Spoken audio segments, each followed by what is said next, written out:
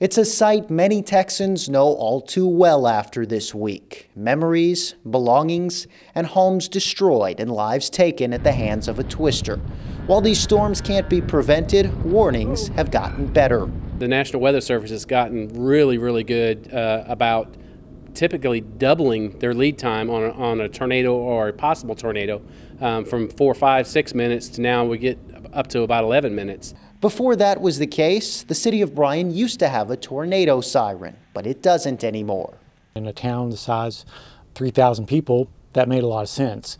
But when you start talking 70, 80, 100,000 people, it one tornado siren really just does not reach out to those kinds of folks.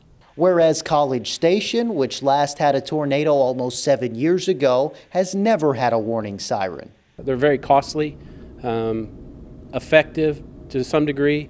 Um, but again, weather radio is is the best tool um, for alerting for a, any kind anything. The weather radio broadcasts continuous weather information from the nearest National Weather Service office. But it's not just sirens and radios. Weather apps are also helpful. I don't think anything will replace a tornado siren because not everybody has a mobile device. But let me tell you, if you have a cell phone, mobile device, or even tablet, it is very sufficient because most people carry it in their pockets. If they get a buzz or maybe a tone, the weather alert's right there.